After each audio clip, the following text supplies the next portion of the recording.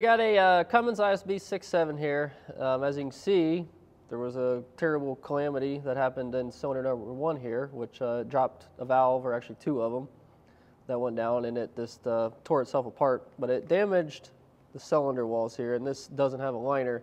So I've had some questions about can this be fixed. Uh, I just talked to my machine shop because they said they can fix it. They can bore this out, and we'll put a liner in it and put it back to standard. Roughly on cost, depending on, we're to have the block tipped and all that, so there's a couple other little incidentals that'll be involved.